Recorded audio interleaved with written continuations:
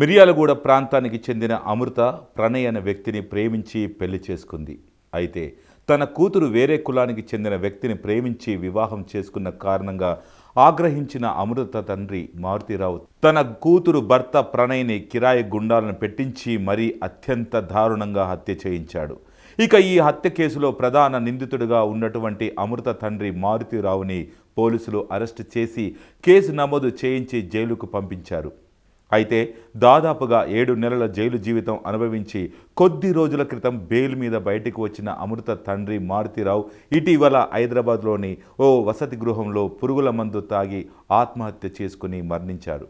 అయితే మారుతిరావు ఆత్మహత్య చేసుకున్న ముందు ఒక లేఖ కూడా రాశారు.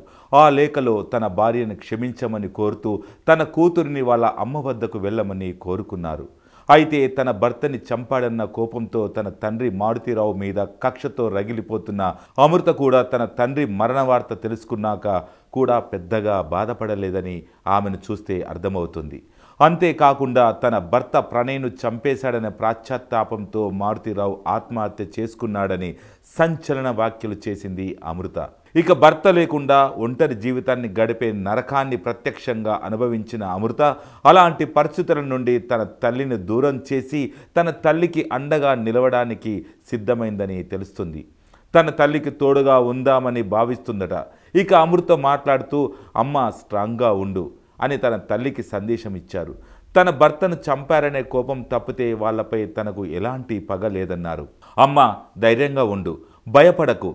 కేసు ఉంది కాబట్టి నేను నీతో మాట్లాడడం లేదన్నారు. భర్త చనిపోతే ఆ బాధ ఎలా ఉంటుందో నాకు తెలుసన్న అమృత నువ్వు నీ భర్త కోసం నేను నా భర్త కోసం పోరాటం చేశామన్నారు. నీ జీవితం పాడవాలని నేను కోరుకోలేదు. నాకు జరిగినట్టు నీకు జరగాలని అనుకోలేదని వ్యాఖ్యానించారు.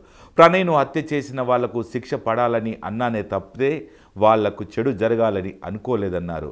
అంతేకాక తన అత్తమామలతో కలిసి ఉంటే తల్లికి దగ్గరగా ఉంటానని కూడా చెప్పుకొచ్చింది. అయితే అమృతని మారుతీరావు ఆఖరి చూపు కూడా రానివని అమృత తల్లి ఇప్పుడు అమృత చెంతకు చేరుతుందా అనేది చూడాలి. మరోవైపు ప్రణయ్ తల్లిదండ్రులను వదిలి రానని చెబుతున్న అమృత తండ్రి చివరి కోరిక ఏ మేరకు తీరుస్తుందో అన్నదానికి సమాధానం కాలమే చెప్పాలి.